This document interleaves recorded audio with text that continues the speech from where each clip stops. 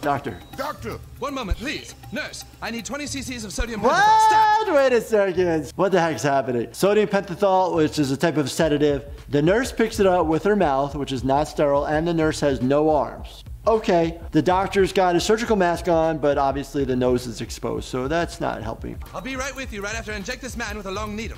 Oh I'm gonna be sick. I always get the length of the needle scares people. The length of the needle has nothing to do with how the shot's going to go. It is actually the gauge of the needle or the diameter that's worse. So the bigger the diameter, the more painful it's going to be. So even if it's a very long needle, as long as the gauge is small, it's not going to hurt very much. There, there, young man. Ah. Medical science is nothing Okay. to be afraid of. Ooh, I think we're hitting the Oh, what? ball. Randomly, Yes, I can hear the needle scraping against the bone inside. randomly sticking inside his abdomen, that doesn't occur.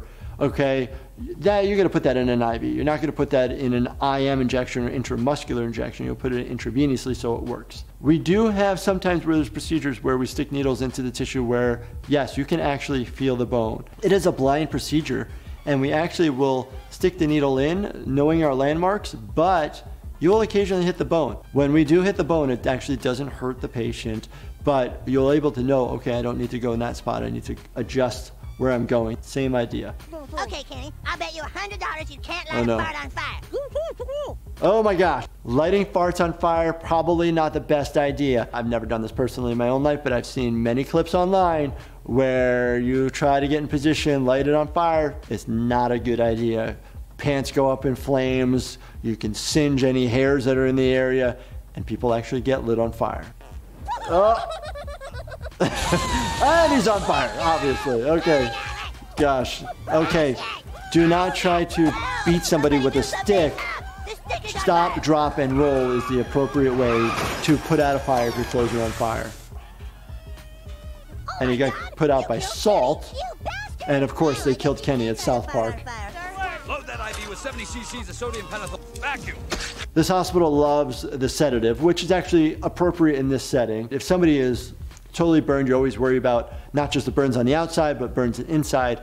So if you have soot in your nose or in your mouth, or you have singed hairs, a lot of times as an emergency room doctor, we're going to intubate you early, which is to put you on the ventilator because if we wait too long, the amount of swelling can occur inside the soft tissue of your throat, and then we won't be able to get a tube in, and we need emergently to cut open your neck and put the tube in. So we don't want to get there. We've done it before, and it's not pretty sight. It is a last ditch effort. Try to untangle his trachea and esophagus. They're trying to untangle his trachea and esophagus. Sometimes if somebody is so burned, they wouldn't be twisted, but things can melt together. That's how horrible burns could be. We have precious little time left, people. We're gonna lose him soon. The emergency department is what I do for a living, right? And you got people freaking out everywhere. Those people, we put them in other rooms. We kick them out of the room. The emergency setting, we're professionals, we know what we're doing. We're calm and collected. Everybody has a role. The doctor is the conductor, say, of that room, and everybody has a specific role and job, and we work in unison. There's no chaos, there's no screaming, it's calm, quiet, and we do things very particular to help save someone's life and to give them best care possible. We need to zap this quick. okay. He wanted to zap the heart that he ripped out in the microwave. No, you will liquefy that, but I like that there's a random potato just sitting in the emergency department. But somehow they He accidentally replaced your heart with a baked potato. they actually used the potato to be a substitute for his heart. That is hilarious. Heart transplants are very cool, very intricate. Literally, you take the heart out of the chest, you have the blood supply being pumped through another machine, keeping the person alive while you're then putting the new heart back in to reconnect all the major vessels. Hat off to all the cardiothoracic surgeons that have the skill to be able to do that. It doesn't happen in 20 seconds like this occurs. Come on, again with these kids, they're always getting into trouble. Yeah, dude. What the Butter. heck? Oh Oh, dude, it's stuck in his eye. What the hell did you do? Oh my gosh. Why are these kids throwing stars in the middle of winter? Shouldn't they be having like snowball fights? Obviously, leave it in for now till you get to be seen by a medical professional. When you actually injure the eye like this, the concern about this is that you're having the vitreous basically flow out of the eye, and it's hard to replace that. It hurts. It hurts. Oh man, we are in serious Yeah, trouble. definitely hurts. I can't even imagine the kind of pain that a puncture wound or a laceration could be to the eye. Ah! Okay, okay, calm down, Butters. It'll be okay. You don't understand what my mom will do to me if she finds out I was playing with weapons. Kids' first reaction is always, Am I going to get in trouble? With this type of injury, you need to tell your parents or you need to get to the hospital ASAP. Ah, no! Stop with pulling stuff out. If you have an impaled object into your body, these objects are potentially tamponading or blocking either a major blood vessel. In those moments, yes, at the hospital, we do take these objects out, but you have medical professionals and surgeons around to immediately act to fix the problem. Gosh. they're not even, they're just You're gonna scramble his outside. brain. Go ahead and scramble it, then he won't remember it was us. We need a doctor, but we can't go to the hospital. Wait a minute. Wait, wait, what about the veterinarian? So if we make Butters up to look like a dog, oh no, we might pass him off as our pet. So it's- Ooh, that modeling glue is making me dizzy. Butters, we're trying to help you. We need some more fur. Look at this poor dog. Look at the poor dog. They're shaving the dog. Come on. Oh, he like passes out. What the? Doctor! Doctor! Jesus Christ. What kind of sick bastard would do this to a dog? Poor little pup. Doctor can't even tell the difference. He's passing out as he's walking through the doors. He needs immediate medical treatment. You know, question how deep does that throwing star go? Not good. He needs immediate medical care. Can you help him, Doctor? I'm afraid I wouldn't know how. Unfortunately for this little fella, I'm a people doctor. Best we call the animal shelter. Right away. Oh no. The right doctor is just clueless to know that it's a human. Ah! I'm Ginger! Oh my god, Eric! Help me! Did I just hear that right? Did he refer to himself as a ginger? I am sorry for any of those redheaded folks out there that take offense to this scene and the term ginger. Sorry. From his outward appearance, I would say he has the standard skin pigment deficiency. You mean Yes, I'm afraid that your son is suffering from gingivitis. yes! I love a play on words. So gingeri- gingivitis or gingeritis is not a thing. Gingivitis is a thing, and that's inflammation of the gums of your mouth caused by multiple different things. But how can I become a ginger now? I wasn't born like this. well, the red-haired and freckled gene is a recessive gene. Yeah, this type of pigmentation is recessive. It just doesn't show up randomly later in life. So I'm gonna stay like this forever? I'm sorry, son.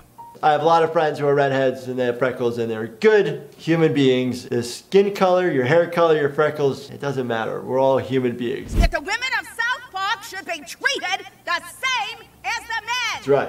Oh, oh, God. Oh, oh, God. Flatulence, farting is hilarious. I'm a guy, we all like farting, it's funny. It happens. Hell's Pass Hospital, here we go. Hello, boys. Your mommy has a bacterial infection called C. diff. Ooh. It's very contagious. Bacterial infection called C. difficile is what it's called, a Clostridium difficile. And so it's an overgrowth of this specific bacteria that basically causes nausea, vomiting. Typically, people at risk of getting this are somebody who's actually had prior antibiotic use. All of us have trillions of microscopic critters that grow on and inside our bodies. Just like your mom. There's tiny creatures which live on your mom's skin, on her eyelashes, in her vagina. But the good bacteria in mommy's tummy are being overrun by bad bacteria. We can't use antibiotics because that will kill all the good bacteria too. There is antibiotic treatments for C. diff, specifically either Flagyl, something called metronidazole, or vancomycin. So what can you do for her? We need to take a healthy person's microbiome and start to grow it inside your mother. We do this with a fecal transplant. We'll get a donor's feces, mix it with water, and put it up your mom's anus. Ew! This is fantastic! That is actually really darn accurate. Yes, fecal transplants is a real thing, and people have actually had real success. You're not literally just taking someone's poop turd and shoving it up their butt. It's basically processed under sterile conditions. Ah. Ah. Well, there's no doubt about it. Those tonsils need to come out. What? Oh, that actually is quite helpful for the doctor because as you phonate like that, it drops the tongue back so you can actually see more in the posterior pharynx of the back of the throat. Oh, what exactly does that entail, Doctor? It's a very simple operation. We'll just Yeah. put you to sleep, Eric, and when you wake up, you'll be tonsil free. No, no way. Well, then I guess you don't want all the ice cream you get after the surgery either.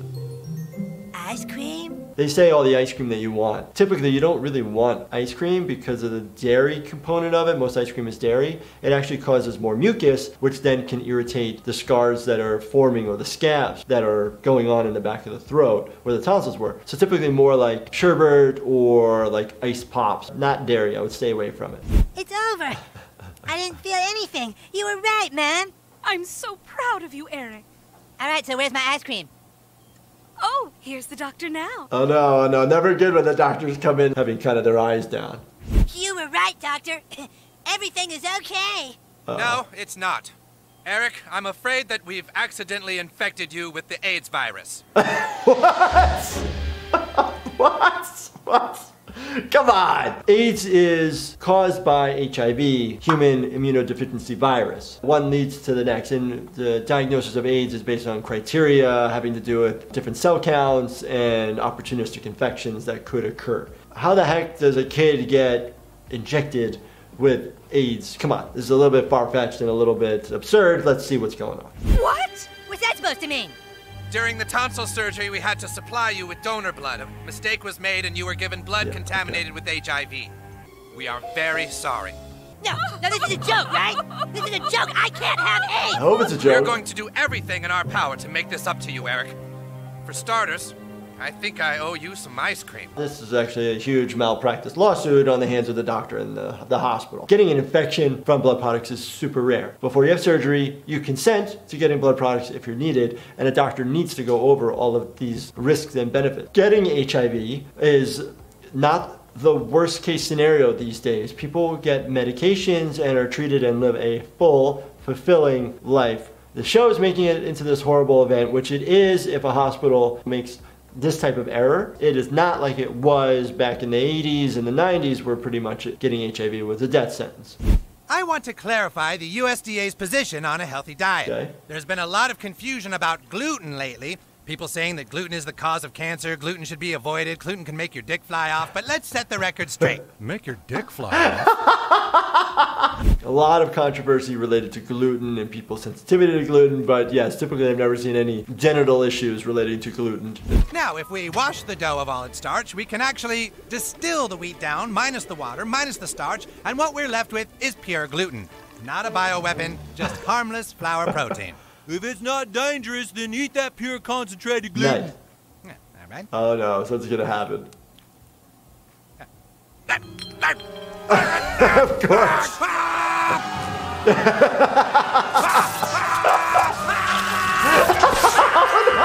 Oh, you see that? His off. What the heck was that? It's a rocket ship of his penis. this was freaking hilarious. I love that the creativity and the wackiness of this and that it could never actually happen, but it was very funny and absurd. So, can I get a referral from you? For what? Medicinal marijuana. There's a shop that opened in the old KFC, and they said I needed a doctor's referral to buy weed. Back in the day, a doctor used to have to write a medical marijuana card to use it for medicinal uses. Medicinal meaning like medication. That's why now, in a lot of states in the United States, you don't need a script to go get marijuana at a dispensary. You have to be over the age of 21, so it's almost like buying alcohol in the United States. Medicinal marijuana is for people who aren't healthy. No. AIDS patients, cancer patients, you know, people going through chemo. The THC helps them eat and take the pain. Well, true, but it was also really good for like nausea as well for cancer patients or HIV patients. People could also use it for anxiety, chronic pain. There's a lot more uses now. Well, so doctor, how do most people get cancer? Well, there's a lot of ways you can get cancer. Yeah, but what's the quickest way? Cancer in general is not something to joke about, not to get so you can get secondary gain of getting marijuana or pain pills or anything like that. Testicular cancer. No! Linked to exposure to high doses of radiation. This is horrible. There are so many ways that we don't even totally understand environmentally, food, that increases your risk for cancer. So why the heck would you then knowingly do something to increase your risk for cancer for marijuana? Like, come on. Oh my god. Mr. Marsh, I'm afraid that the test came back positive. You do have testicular cancer. Now, can I finally get my prescription, please? One ounce of purple Lorpral, two oh. ounces of Fisherman's Friend, and a half cow. Bama Kush. That is horrible. This doesn't happen in real life, but it's a funny depiction of what could happen. Typically, if you do have testicular cancer and you're getting nodules on your testicles, you should, as somebody who has testicles, palpate them to see if there's any nodularity or irregularity to them. And then if there is, you need to be seen by a physician. They'll get ultrasounds or do other testing, but they typically do not get melon size where you have to carry them in a wheelbarrow. He's very lucky you got him here when you did. He was in a very advanced state of vaginitis. Vaginitis occurs in somebody who has a vagina, and it's basically inflammation of the tissue around the vagina and on the inside too. Vaginitis? What? It occurs when a person stops eating meat.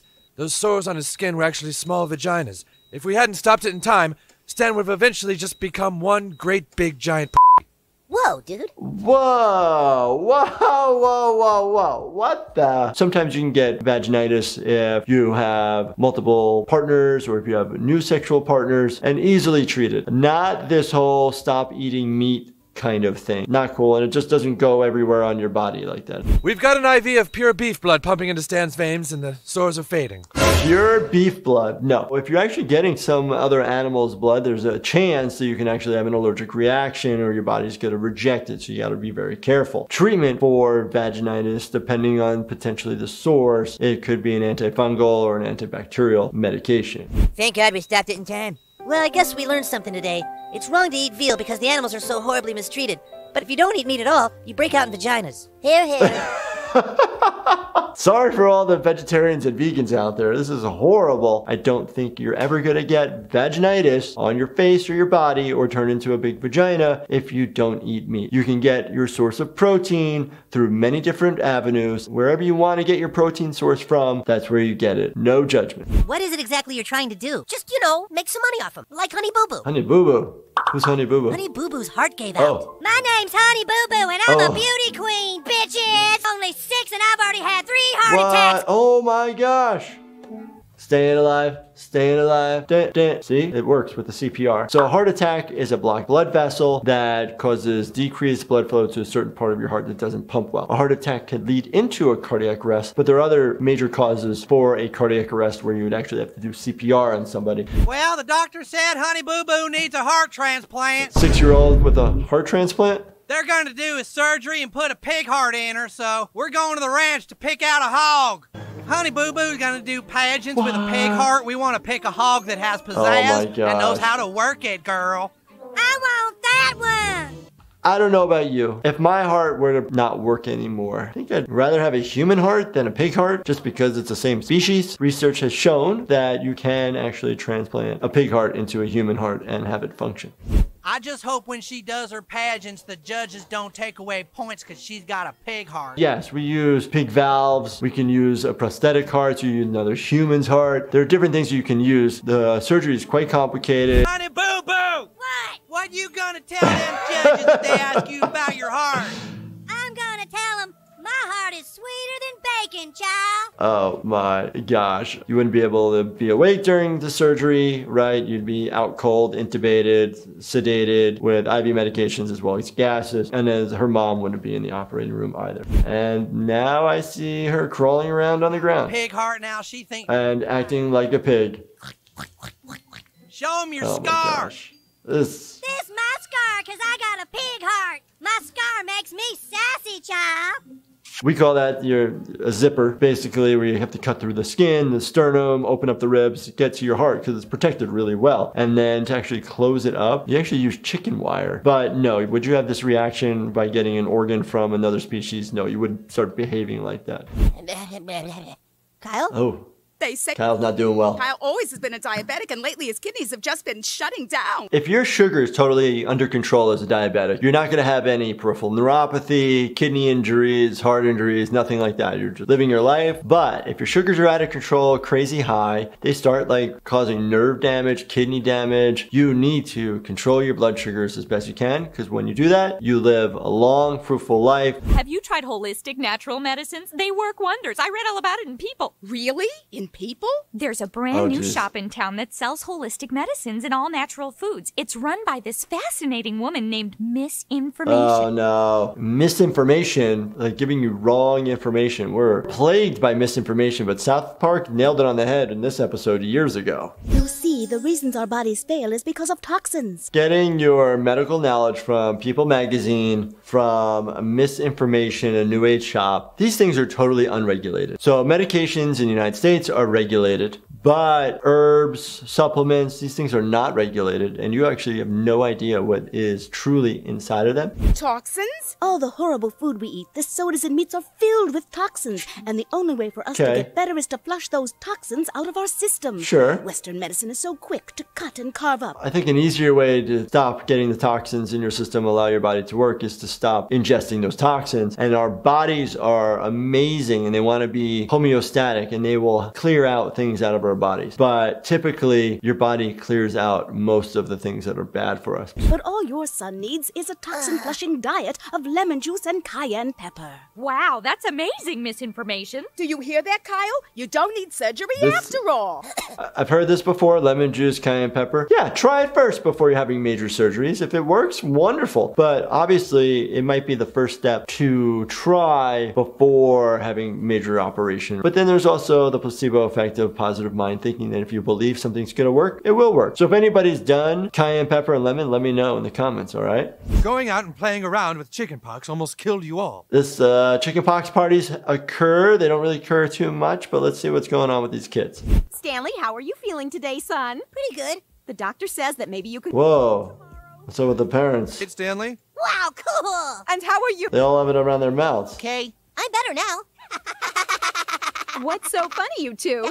We gave you guys herpes. What, what, what? You Ah. did this? We got you back for getting us sick. We had a prostitute use your toothbrushes and stuff. That is funny and messed up. Chickenpox is actually a type of herpes virus as well. Chickenpox is called varicella. We give vaccines out for people who have herpes. You can use any antiviral medication to help reduce the shedding and to hurry up your symptoms. Hey, how come you don't have stars on your lips, man? Oh, I have them somewhere else, Poopykins. Oh, messed up. So messed up. Because you can share them, you can spread them, and now you're stuck with it for the rest of your life. Hooray! Well, I know one thing for sure. What's that, Eric? We're all gonna need a lot more Calamine lotion. So calamine lotion is just a non-specific like anti-itch medication. It's pink and it dries on the tissue. Typically use it for like uh, poison ivy or poison oak, poison sumac, all that stuff. But you can use it for anything that itches. and Kenny died. oh my Every time. They killed Kenny! You bastard! Chickenpox actually could cause complications that could cause long-term medical problems and or death. School is gonna make us all Oh, get shots again. But this time it's so that we don't get warts in our vaginas.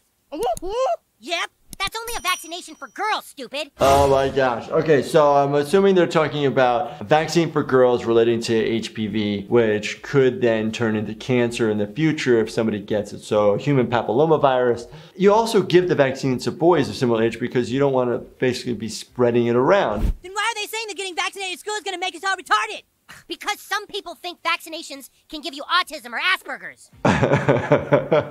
vaccines, yes, vaccines are not 100% benign, but they've debunked this topic where vaccines give autism or Asperger's, okay? There hasn't actually been any documented relationship between getting a vaccine and having autism. But in general, vaccines are quite beneficial compared to the negative aspects of vaccines. Eric, what is it this time? Fever, light, lightheadedness. I don't know what's wrong with me. You don't feel warm. Oh, that's a relief. I thought maybe I had a fever, but I, oh, oh, oh, my buns! There's a sharp pain in my buns. Can you lay on your stomach? I'll try. I'll try. There's sharp, sharp pain in my bones. Sometimes you may feel like you have a fever, but your skin temperature isn't warm. That just means your hypothalamus hasn't uh, adjusted your basically your body temperature. Some people actually be cold first before they actually mount a fever, just so you are aware. Why are there hamburgers in your underwear? Are you serious? How could there be? Oh my Oh my god! gosh. You're saying I have Asperger's? oh my gosh. No, it's not Asperger's. It's Asperger's. It's a good laugh. Okay, totally not appropriate, but no. Are you trying to sneak food into the school or something? What are you talking about? I got vaccinated from the school, and now clearly I have Asperger's. Very funny. Well, I'm glad you think Asperger's is funny. Just note my condition on your records there. Get out of my office. Wow. Asperger's is on the spectrum of autism. Autism and Asperger's are neurodevelopmental syndromes. And then basically there's difficulties in social interactions and nonverbal communications. My school teacher wanted to be a Yeah. woman, and you made him into one. Uh, yes, he Mhm. had a vaginoplasty. There's lots of different plasties out there. Angioplasty, which is relating to like new vessels of the heart. Plasty has to do with like making new sort of thing. So vaginoplasty, you're making a new vagina. You see, sometimes a woman wants to be a man.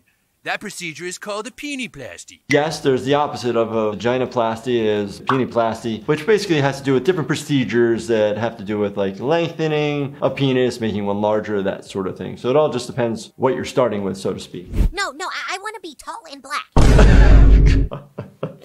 And so you can get taller. You can have like surgical rods placed in to lengthen potential bones if you break them and have them then re-heal. But that's really not something that we do. And then can you change your skin color? I guess you can always like get tattooed. You're really not changing your skin color. Can you bleach your skin the other direction? Yes, potentially.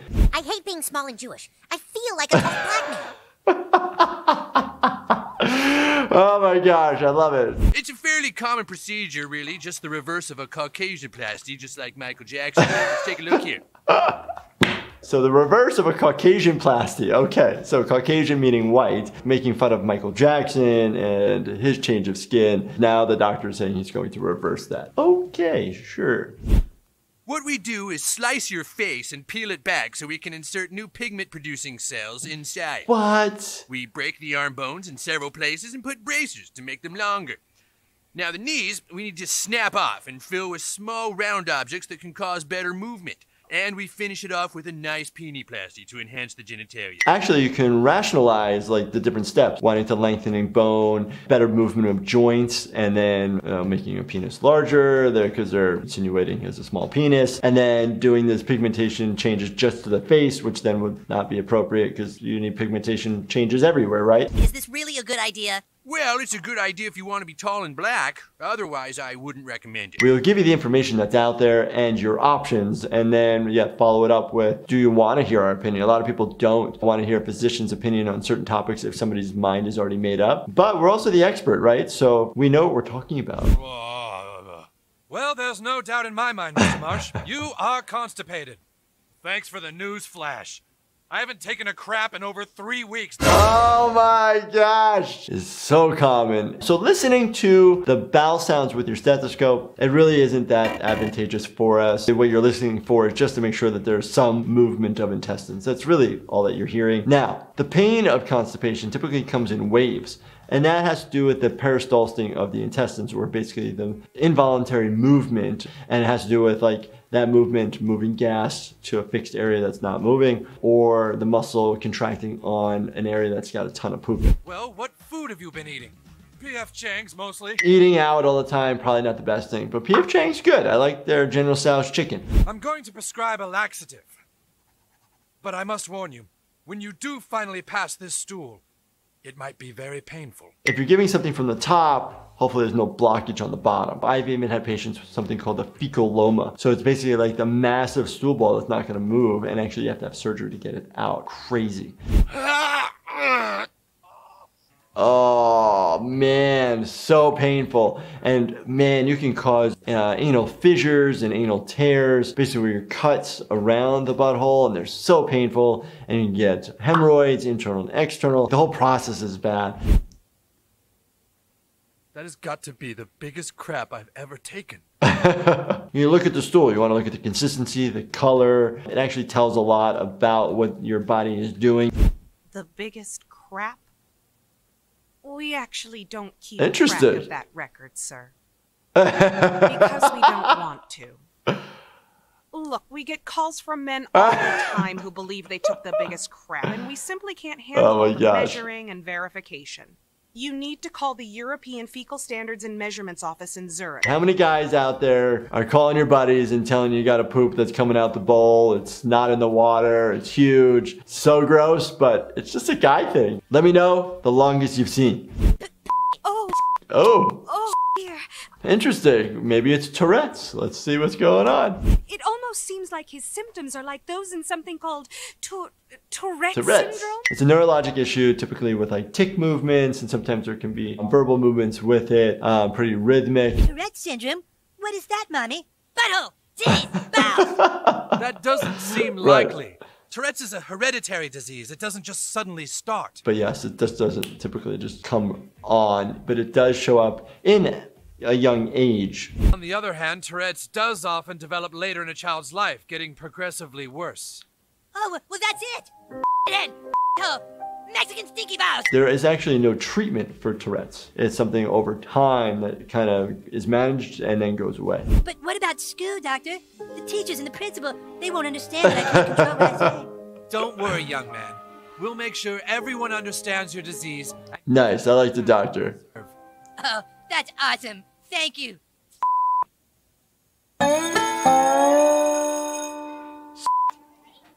Imagine this actually was happening in school. Yeah, so if he's faking it, it takes a lot of work to just like continually like come up with like, you know, swear words and just screaming out in public. On the flip side, if this is actually really true, this is like really tough and really hard social situation. And hopefully surround yourself with people who are understanding and educating the people around you that this is not something you're doing on purpose. Oh my gosh.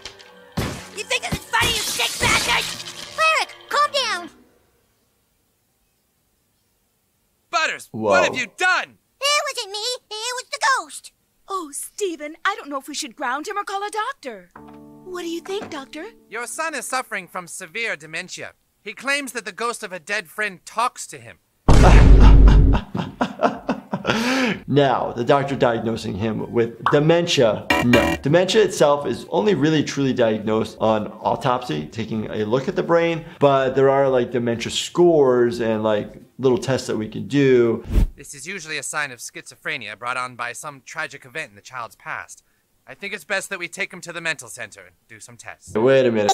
You just gave him all these different diagnoses. He went from dementia to schizophrenia. Why can't the kid just have like a friend that he just has? Throwing a diagnosis on a patient and then giving medications and now putting him into a mental institution. Like, come on. All right, Butters, just try to relax.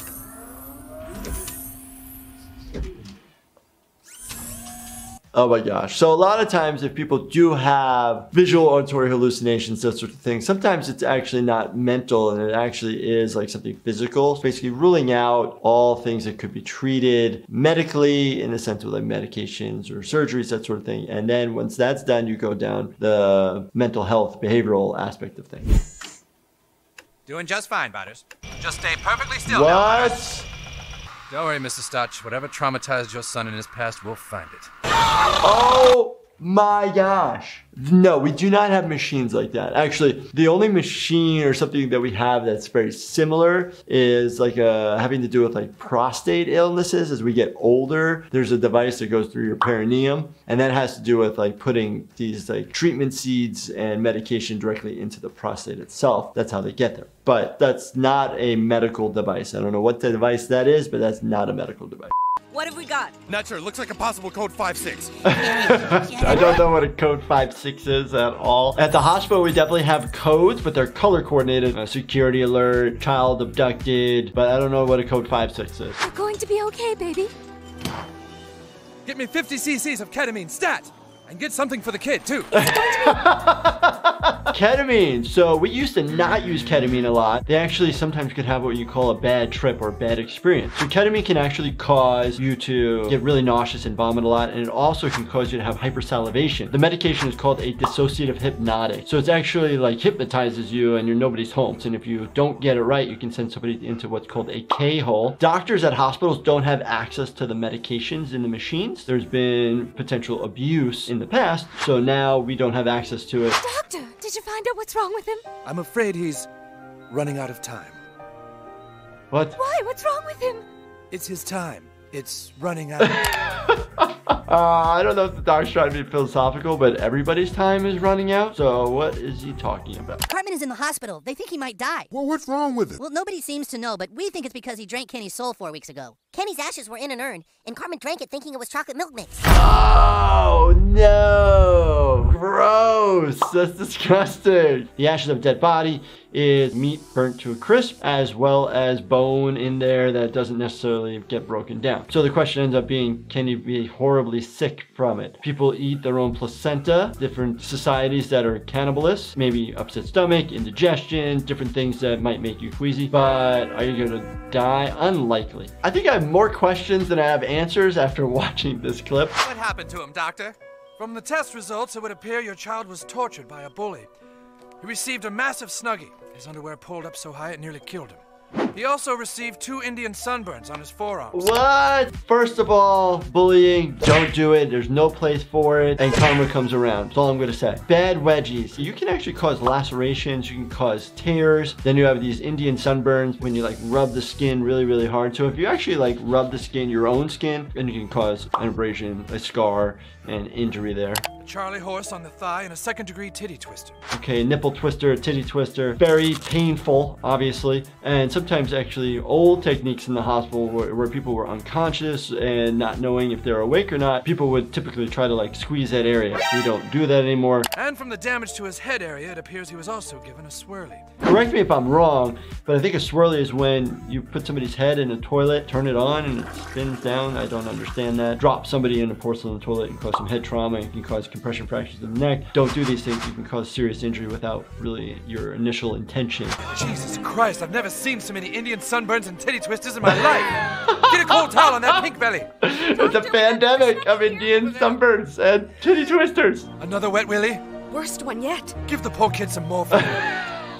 He's giving him morphine for a wet willy. I mean, maybe you could have a perforated eardrum if you stick it in too far or cause too much impression and barotrauma to the area. But again, you still don't give morphine for that. You give ibuprofen or Tylenol. This is a whole episode on bullying, and that is totally unacceptable. Some parents don't even know that their kid is bullying other kids. Personality disorders that could be going on, mental disorders that can be going on. So if you or somebody you know is getting bullied or did get bullied, there is resources out there. There's a website called stopbullying.gov and then obviously guidance counselors, principals, coaches, social workers. You know, there's people out there that can help. This is gonna be totally cool, you guys. It's not gonna work. Just come Oh down my from there. gosh. Yay, Cartman! fly, fly, fly! The magic of flight. No, not gonna work.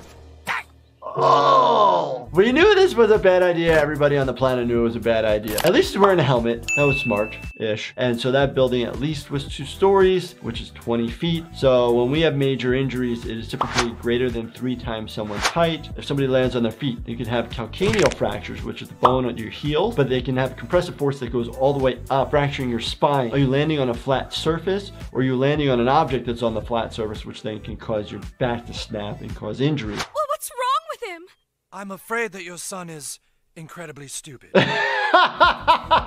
We wouldn't typically say that right away. I mean, there could be a conversation later relating to trying to do this was not smart, and that word could come out, but not relating to the individual themselves. the stupidity is so severe that it caused a fall, which has put him into a deep coma. Coma. My God, for, for how long? There's no telling. He may never recover.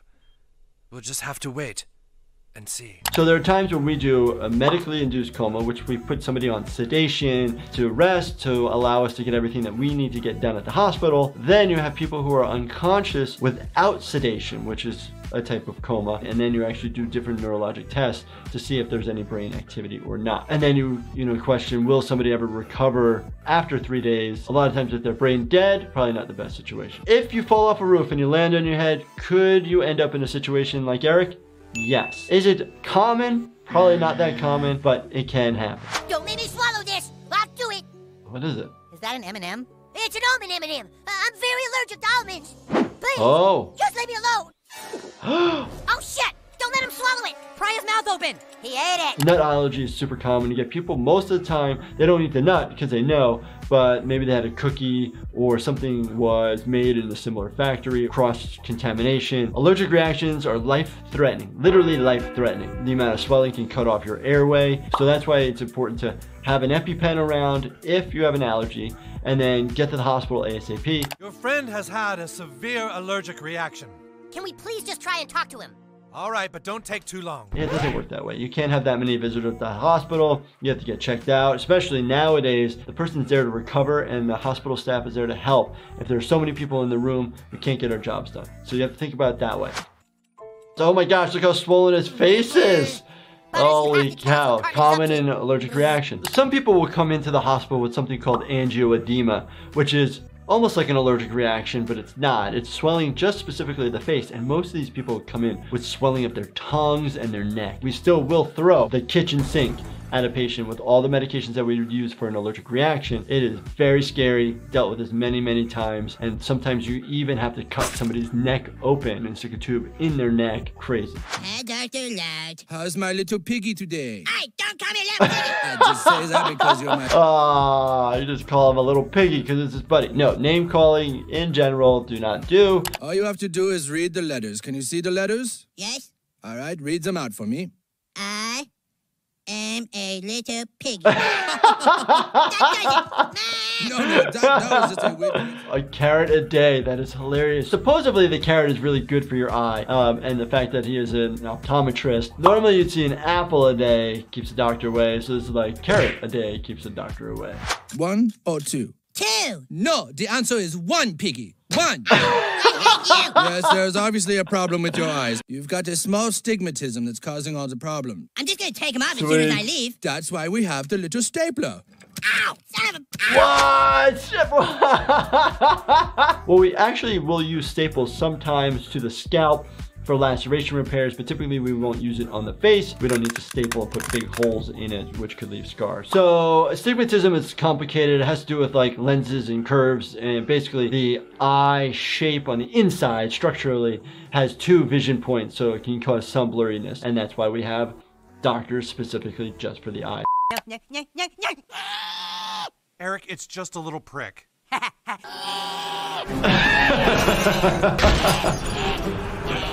That's totally how I felt when I was a kid going to the doctor's office. It's not that bad. You're not just gonna come at a child with a needle. You're gonna grab an alcohol swab so you can clean the area that you're going to inject. And obviously you're not gonna sit there being naked.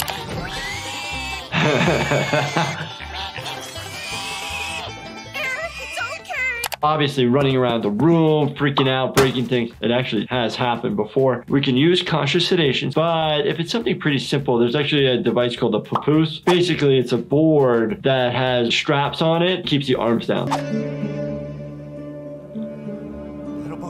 Upstairs. Oh my gosh. There are still doctors that will do home visits, actually having more of a resurgence. Difficulty for, say, elderly patients to get to a hospital or patients that aren't mobile. Sometimes people don't like going to the office. They get anxiety, so they can pay for their own service to have a doctor come.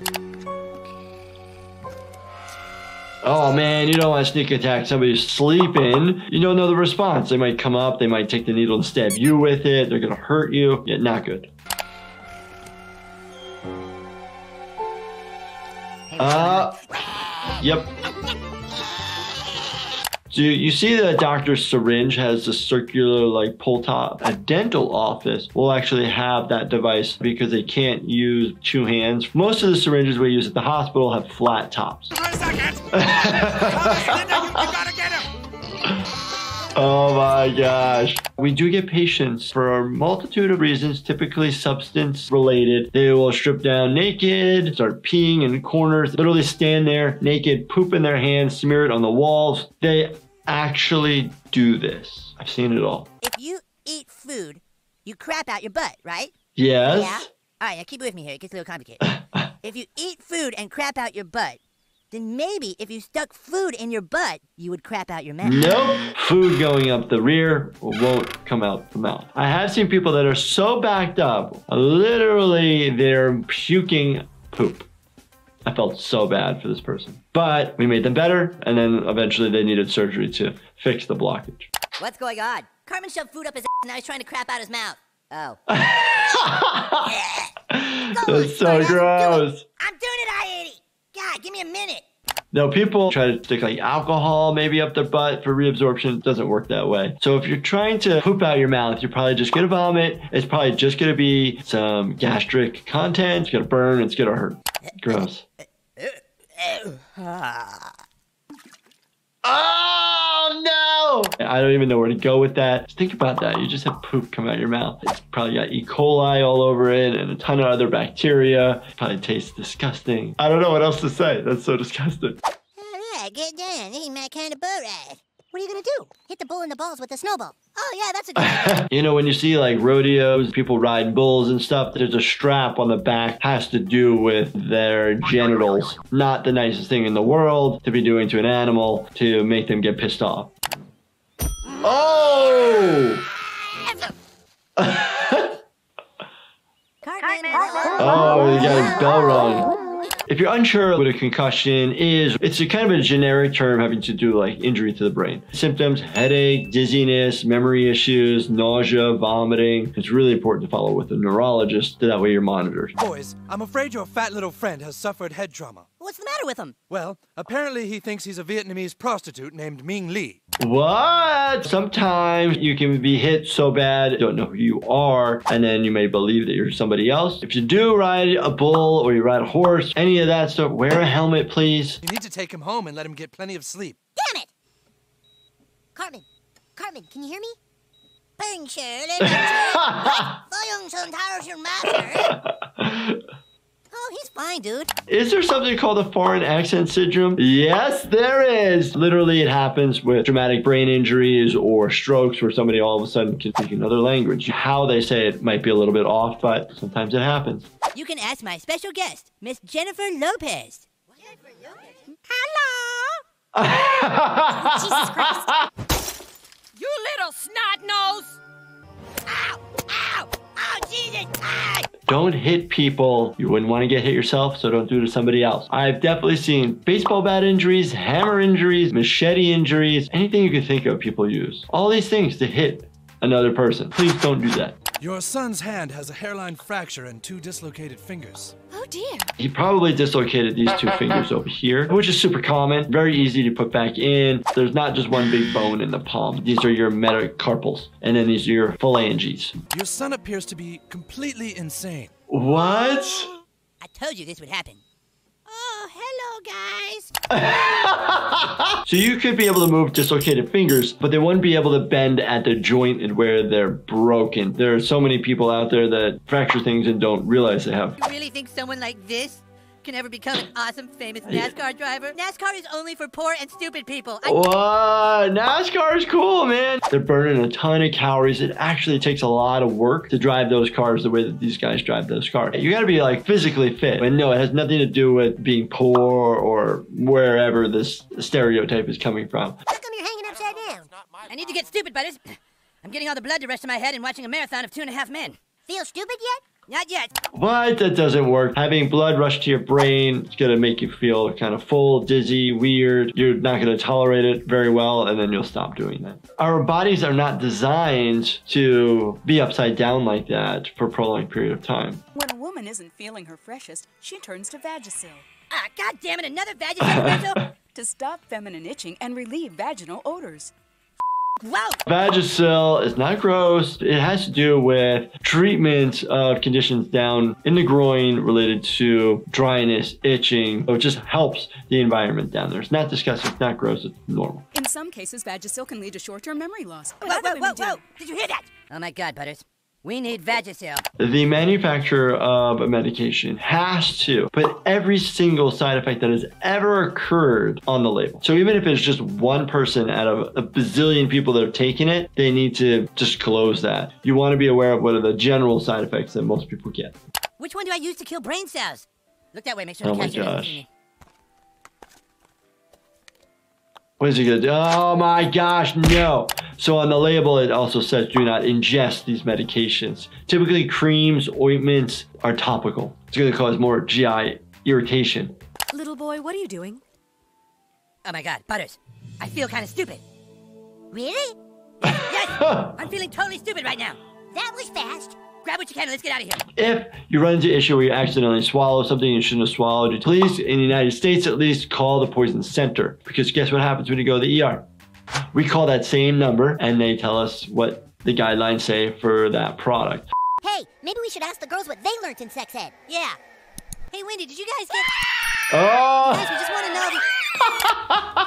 I want to know what they learned about the opposite sex. A what? Do any of you have your condoms on? Wearing protection helps preventing pregnancies. Wearing protection helps decrease the spread of sexually transmitted diseases. It's not good to wear a condom on a flaccid penis. Did you know that without wearing a condom you could get a disease? Nuh-uh. Yeah-huh. If you don't wear a condom, you're gonna get AIDS. Oh, jeez. I don't want to get the AIDS, fellas. Is that what you learned in sex ed? Wow. Wearing a condom randomly does not help uh, decrease the spread. We're talking about bloodborne pathogens, could be in your semen as well. That is why we're talking about using protection because you can spread disease. Fourth grade. I didn't learn it in fourth grade. Condom's driving me crazy. Yeah, I've changed mine three times already because it itches so much. How do these kids even get a hold of them? You gotta be careful, they're latex, so you have to worry about latex allergies. They do make alternatives that are not latex. Yeah, but it makes going to the bathroom easier. yes, he's got a pee balloon. All right, boys, I now have all the information I need to teach you the female anatomy, okay? Okay. Okay, this part here is the vaginal opening. At least there's a good depiction of the female sex organ. You have all the anatomy there, which is good. They're being taught. This is where the man puts his. Eric, what the hell are you doing? I'm putting on a new condom. I filled the other one up. Why are you wearing a condom? So I don't get AIDS? Eric, you can't get AIDS from just sitting around. You have to get it from sex. From sex? Yeah. Yes. You mean intercourse with a girl? Yes. He says sex with females. You can get AIDS from having sex with any sex. Come on, dude. Oh, God, I popped it. Oh, it hurts.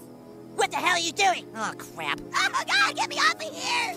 Ah, dude. Oh, have you ever tried to climb over one of those fences that have the prongs like sticking up? We gotta really be careful. You gotta make sure you don't get your crotch stuck on it. It can lacerate. And you always have to worry about tetanus and make sure your tetanus shot is up to date, which we do in the emergency department. I have to go home. I need my cream. I need my cream. I don't know what kind of creams he's talking about, but maybe he's talking about like hemorrhoidal creams. And he also fell off the fence. Is any fall greater than 15 feet or three times your height? You want to fall and roll so you can disperse the energy versus taking the full force. All right, let's go. That's right. You stay out. You can't keep us out forever, you fat ass. We'll be back as soon as Kyle's hemorrhoid is better. My life can't get any worse. Sometimes you can have an internal hemorrhoid or an external hemorrhoid. Internal hemorrhoids bleed like heck, but they don't typically hurt. Or external hemorrhoids, which hurt a lot and then they thrombose, meaning they form a clot and they turn different colors. They can bleed as well, but they cause a lot of discomfort. Oh my gosh. You're a very lucky little boy. I've never seen a hemorrhoid so infected. Ah. It could have killed you. Lucky. Whoa. So if a hemorrhoid potentially gets infected, you would need antibiotics. You might have abscess formation, which is the collection of pus underneath the tissue. And if that's the case, typically it needs to be cut open. Dude, you okay? Oh, I'm swell, Stan. I popped my hemorrhoid trying to climb the fence into Cartman Land and it got infected. I really need to go to the bathroom, but if I do, it will pop again and the pain will make me pass out. How are you? I'm afraid Kyle can't ride any amusement park rides for over a year because of his horrible hemorrhoid. Why would you not be able to ride a roller coaster? Maybe give it like a couple weeks, a month, because of maybe intra-abdominal pressures that you would have when you're riding the roller coaster, contracting really hard. You don't want that pressure down below. Not comfortable, not fun.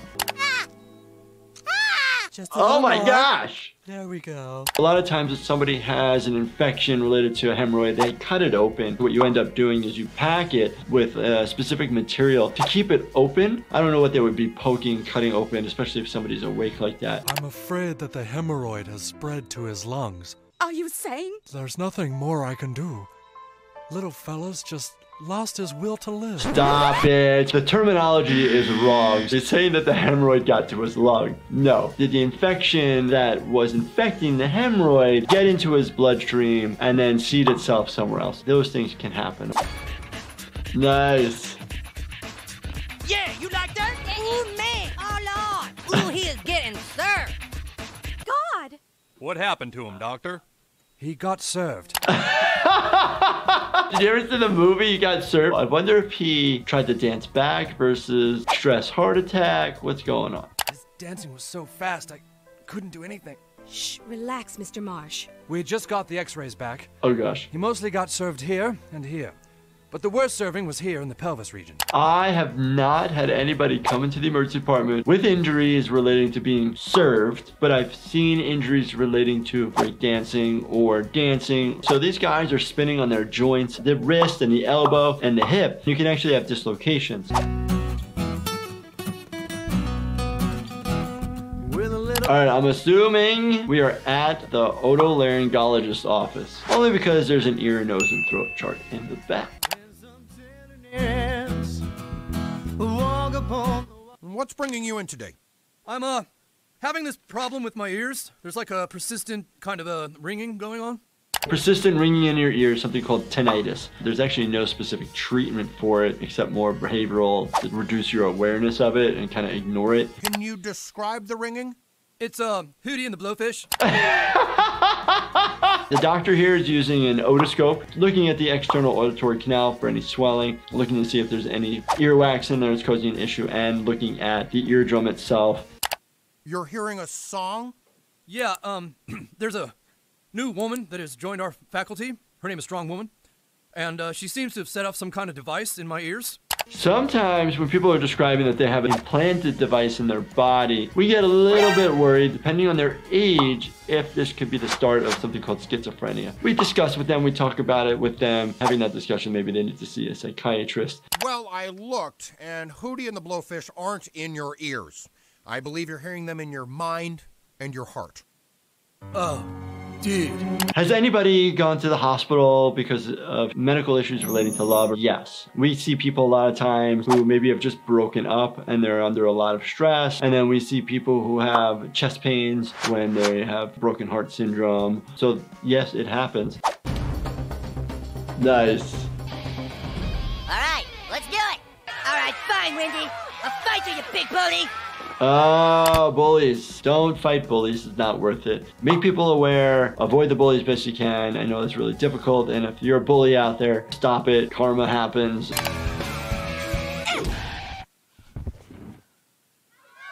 Whoa, my gosh. When you get knocked out, it's because you're sloshing your brain around and it got concussed enough to where it's like, nope, stay down. It's a defense mechanism. And obviously, the person doing the punching, if you're using a fist, you can actually cause yourself to get a boxer's fracture and then you potentially need surgery or be put in a cast. There's no good outcome. This is horrible. He's already got black eyes. Oh my gosh. You gotta stop this. Come on, guys.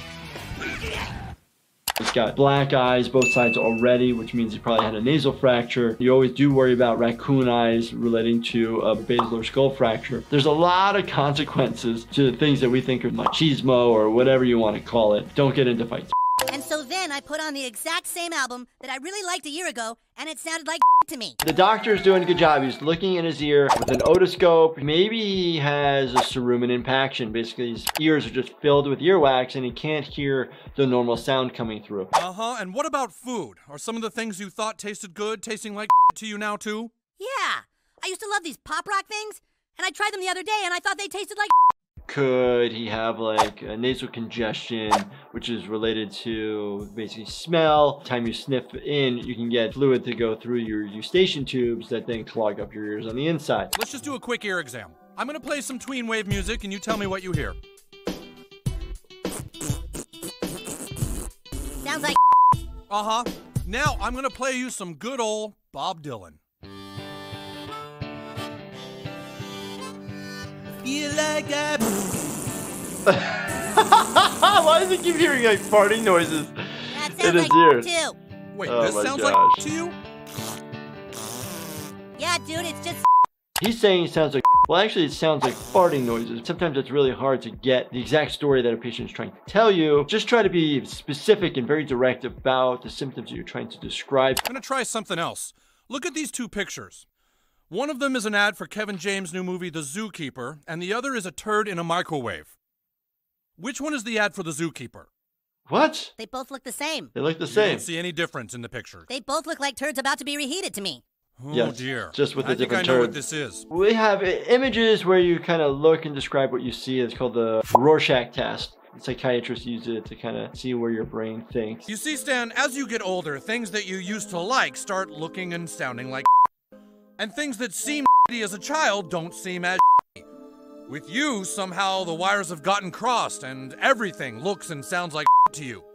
It's a condition called being a cynical hole. I Oh can't God, wait to talk that? Sarcastaball because it's Oh. really compelling. Joining me now is the coach of the Denver Broncos and the inventor of Okay. Sarcastaball, Randy Marsh. Thanks for calling in, Randy. Really happy to have you on the show. Yeah, it's awesome to be on your show. Randy, first off, thanks for taking a sport that we all love and turning it into a sarcastic nightmare. Way to go. Randy, something's happened. Are you unable to stop being sarcastic? Oh, right. I can't stop being sarcastic now. it's so hard. You're like, are they being sarcastic or not being sarcastic? I'm telling you, Randy, I think this sport is doing something to your brain. Right, it's doing something to my brain, and now I can't stop being sarcastic. So there you go. That's actually a really good depiction of what a CAT scan machine looks like. A CT scan is the same thing as a CAT scan. It's a lot of x-rays that are put basically in 3D form. So your first image of checking somebody's brain would be a CT scan because it's the fastest. So we don't use film like that anymore. It's all on a computer. I'm sorry, Mr. Marsh, but there appears to be permanent damage. Oh boy, this is great. My week just keeps getting better. How do we fix this, Doctor? You don't. I'm sorry. There just isn't enough research in how sarcasm affects the brain. So that's it. I should just go home and forget about what this sport has done to me. Let thousands of people play sarcastaball and get hurt too. Oh, really? You you think there's a correlation between sarcasm and sarcastaball? You're seeing both sides of the brain and you're seeing the gray and the white matter. Typically the black on a CT scan is going to be your cerebral spinal fluid that's in there. Sometimes air will show up the same color. The white could be related to blood or contrast dye or basically kind of like the meninges that separate the brain. So you have like your falx and the tentoriums, those sorts of things can show up white as well. No, sarcastaball has nothing to do with it. I just I just really enjoy being sarcastic, and so I must be finding an excuse. You know, I have a 50-year-old Alzheimer's patient out in the waiting room who can't even remember his family. So Alzheimer's is a type of dementia and basically it has to do with plaques that are formed in the brain and actually causes the brain to kind of get more dense and shrink down. Let's forget about him and focus on how sarcastaball might be damaging people's brains. My son is out there playing that game. It's heartwarming to see you have such high regard for his safety. Sarcastaball, don't really understand, but football, there's a lot of injuries that are related to your brain. Concussions, traumatic brain injury, fractures, you can get some bleeding. Or at the infirmary. Look, doctor, you have to give me something. I'm really sick. What exactly are your symptoms? I'm like starting to question things that I've done, like starting to question the person I've become, and I can't sleep at night. I Well, laying in bed, thinking all night long, that is insomnia or related to anxiety and depression. They're kind of on the same spectrum. I just lay in my cell wondering if I've been a bad father lately and a bad husband. So typically the medications that are used in these facilities are minimum, but when it relates to these type of requests, typically they do not provide those types of medications. Maybe they shouldn't go away. Maybe this is your wake up call that you've been abusing drugs and need to face all your wrongdoings. There are obviously are instances where withdrawal can cause issues. We worry about benzodiazepines causing intractable seizures that can cause issues. And then also methamphetamines withdrawal will actually cause priapism. And you say you've never had a mustache before. So at least the doctor is using the appropriate tool with a cover on the otoscope, trying to look closely with a flashlight. Obviously, in this situation, you could use like a pen light. It's not really that much magnified. Holy Oh my gosh. The outbreak of mustache disease. Sometimes people will take pills for hair growth and they're getting unwanted hair growth in other areas of their body and then all of a sudden you get like massive amount of chest hair or back hair or butt hair. Another strain of COVID or simply more COVID related symptoms? A reported 1 in 10 people in Park County are experiencing mustaches, and nobody seems to know why. The mayor has called for help from infectious disease experts, and Dr. Anthony Fauci arrived at South Park Hospital today to give his advice. Oh my gosh. We're seeing people in severe respiratory distress, requiring high flow oxygen, steroids, and a lot of help and support. We aren't sure why some people are getting a mustache and some aren't, but we have to do all we can to avoid it becoming fashionable. There are sometimes weird symptoms, weird side effects. Yes, they're taking this to the extreme, but things similarly can happen with different types of symptoms. Will our chin diapers keep us safe? Yes, but we must wear them where the mustache would be. The whole time during this pandemic, I had to take care of patients that would wear the mask under the chin, on their foreheads. We should kind of try to minimize spreading germs and there are studies that it does reduce the spread of germs. That's why we wear them in the operating room to protect the patient. Hello? Dude, did you get your period yet? No, there's no blood coming out of my Mine neither. But I double checked and Cartman was right. Your period is the start of puberty. oh my gosh, these kids. You're not gonna have a period if you don't have a uterus. The uterus has a lining that sheds every month due to hormonal changes relating to ovulation and reproductive years. And this typically begins during puberty, early teens, sometimes it can be 12. You're bleeding out of your rectum, out of your butthole, you need to see a doctor. What happened? Oh my gosh. If you have blood in your stool, gotta get checked out by your doctor. well, welcome to the club, Kenny. You got your period, so now you're a man. Ooh. God damn it, Kenny, shut the hell up. Mm. Oh! If the blood coming out of your butt or your poop starts looking like what we call melena or dark maroon or even black, then it could be coming higher up, like closer to your stomach. Then that's called an upper GI bleed. They actually might vomit blood, and that's super concerning, right? Because you're having an active bleeding, it's bright red. There's no time for the blood to get digested by your digestive system, and then it could be meaning that there's a brisk bleed due to like an ulcer, perforation, very scary things. My gosh. Mr. and Miss McCormick. Yes? I'm sorry, we couldn't save your son. If I ever come out and talk to a patient's family, I'm not coming out in bloody clothes, like totally inappropriate. Change your clothes, put a coat on, cover it up. They don't need to see that. What killed him, Doctor? Well, we found a tampon stuck up your child's ass. Apparently, he'd had it up there for several days. It plugged him up until he finally burst from the inside out like a ruptured septic tank. Oh my god! My worry is that he could have been following some kind of crazy new fad.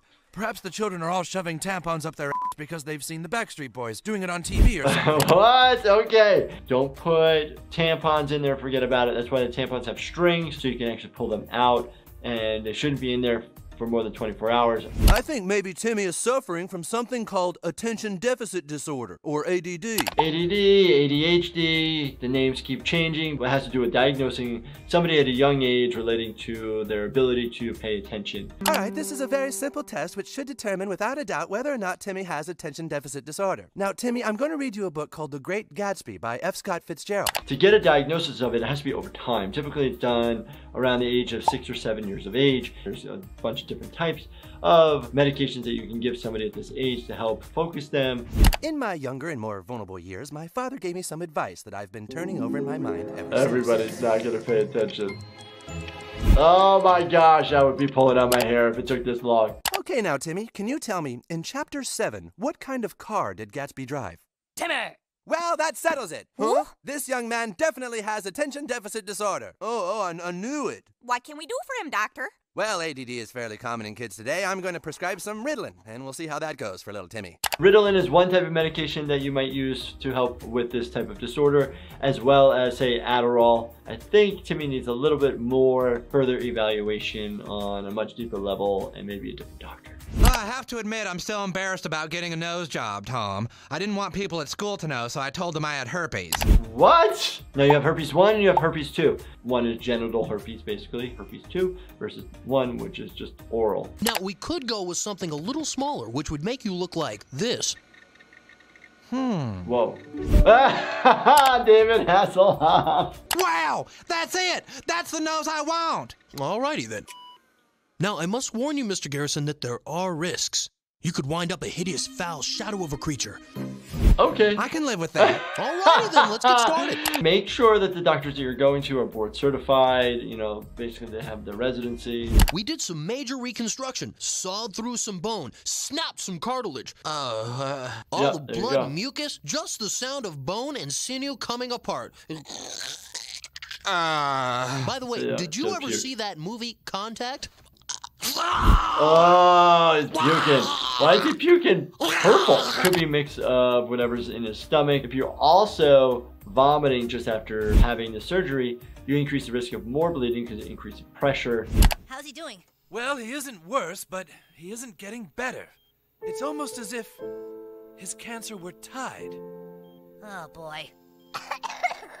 oh, my cancer hurts. He seems to have put all his hope into you winning that game. Cancer is an abnormal cell that's gone rogue that continues to multiply and divide. So if it's not getting worse, then it's not multiplying and dividing, which to me, that means it's actually doing better. Our hockey team has just been invited to play against Denver County during a Colorado Avalanche game. Wow, at the Pepsi Center? Look, he's coming around again. That's our biggest game ever. Do you think we can win, Coach? Imagine if there was one game, one chance to make everything right. Obviously, when somebody's sick and you can give them positive information and get their spirits up, the body responds in a positive way. So, yes, hopefully this happens for this kid. Just be aware of this, coach. If you lose the big game, that little boy is gonna die faster than Steve Irwin in a tank full of stingrays. What? That's messed up. Sometimes things happen when it comes to cancer. Your body's fighting, fighting, fighting, and then the cancer burden just gets so overwhelming or causes you to be in a hypercoagulable state, which then can increase your risk of blood clots and you can have a massive pulmonary embolism that can take you right away. Parents, I call you all together because I think you might be making a mistake putting your children on Ritalin. But our kids have attention deficit disorder, Chef. They can't pay attention in school without it. Ritalin and Adderall, they're different classes of medication, but they're there to treat the same type of medical condition having to do with ADHD and trying to keep somebody's attention and focus. I know you want to help your kids, but I brought over a videotape to show you that there are alternatives. There's this doctor in Northern California who is doing really amazing things with kids who have ADD. I want you to watch this tape. Ritalin is methylphenidate, which basically is a stimulant in itself, but then it actually is used to focus adults and children. It's also used to calm children down. Hello, I'm Dr. Richard Shea, here to tell you about my exciting new drug free treatment for children with attention deficit disorder. I love it. What a good commercial you got. They just kids just bouncing off the wall. But my question to you is, aren't kids just bouncing off the wall anyway to begin with? Sometimes are we actually putting children on these medications maybe a little bit premature? This treatment is fast and effective and doesn't use harmful drugs. Watch closely as I apply treatment to the first child. Sit down and study! you hear of alternative therapies. Some are good, but this one, Sit down and study! I'm not too sure is quite appropriate. Yes, there are medications out there that we use to help focus individuals, calm their brain down a little bit, and should be used potentially as an, an aid and maybe a band-aid, but not maybe something that should be used permanently forever. Are you ready, Mom? yes, what is it, sweetie? Oh gosh. Oh gosh. Wait a minute, Eric, what is this? Okay, hello, Mrs. Cartman. I'm Dr. Stevens. I understand you're interested in breast augmentation. So breast augmentation is a change of the shape of your breast. Big, large, small, reshape it, lift it up. Many different meanings behind it. There are a few options.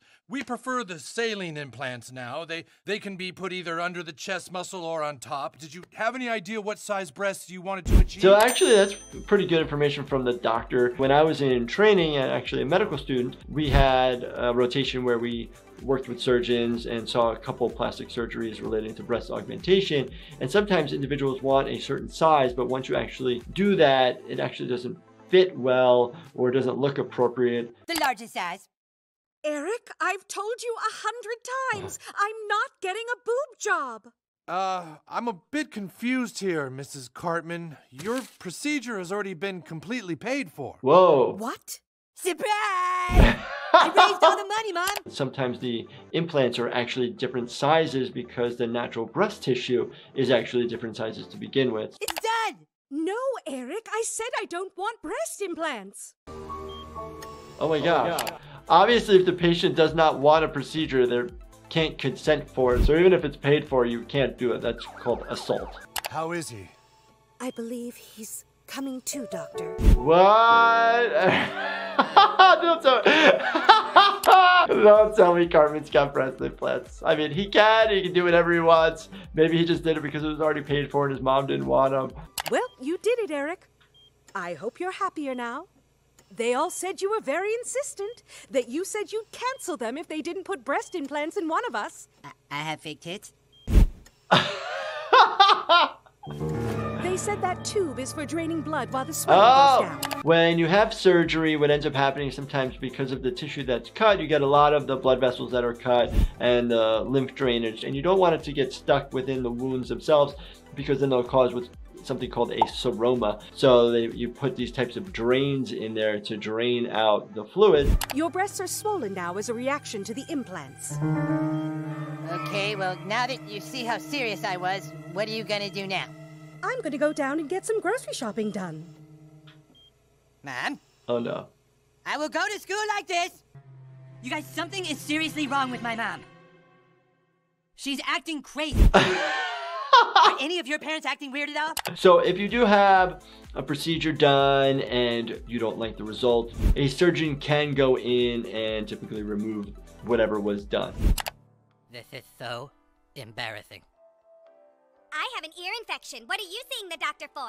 Ear infections, which we actually call otitis media, that's typically because there's fluid that gets behind there and then just sits. If you don't actually get it treated, which is still okay, the eardrum itself can rupture and you'll have the purulent material, aka pus, come out and it'll heal on its own. I have.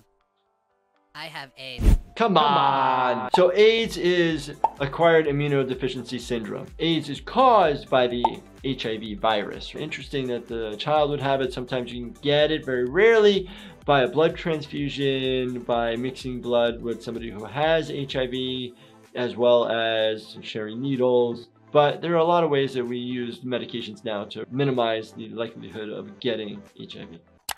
Yeah, that's a pretty bad lice problem there. Good thing they pulled you out of school. Kind of has to do with like poor hygiene or an uncleanly area. What we see nowadays is just kid to kid, maybe sharing a hat or, you know, messing with another kid's hair that might have it. I love it. I love the rain. Uh oh. Here comes the medicine. I love the, the depiction.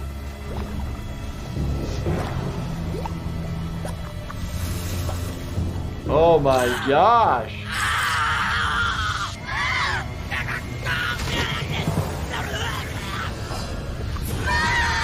If you feel itchy, you can definitely have somebody like comb through it, maybe wear some gloves, take a look at it. If you're unsure, get to the hospital, we'll take a look at it. You may have like a bunch of people in hazmat type suits so they don't want to get the lice and take it home to their family. What's going on? There, just see Karen it's right there. Okay, okay, everyone back. Just stay back. All right, Karen. I wonder if the officer keeps calling him Karen because of the haircut. Is that like a Karen haircut? Let me know in the comments. I'm not up to date on the, the Karen terminology. We don't want any trouble. What? It doesn't have to be like this, Karen. Why does he keep... Let us get you some help. Can someone please tell me Yeah, what's going uh, on? I feel the Is there, same like, way, a my manager man. I could speak to. Some... Karen's clear.